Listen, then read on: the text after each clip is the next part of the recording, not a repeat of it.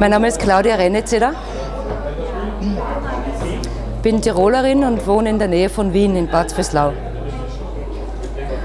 Mache Objektkunst, wie Sie da sehen im Hintergrund, Kunst aus Keramik, Glas, Stahl,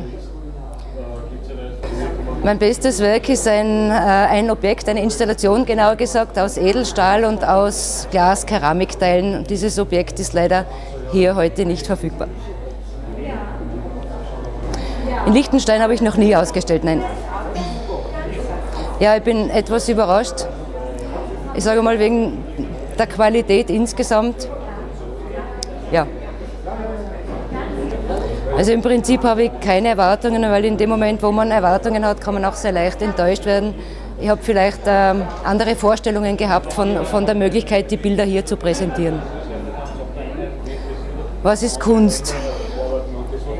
Kunst ist für mich ein Zusammenspiel aus, aus handwerklichem Können und aus einer gewissen Kreativität und, und der Möglichkeit, die Dinge dann auch umzusetzen.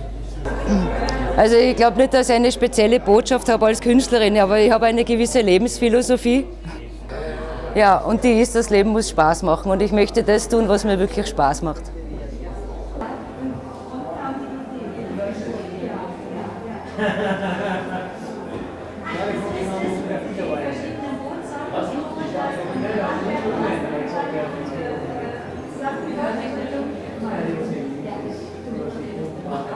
searching for, you get stuck something.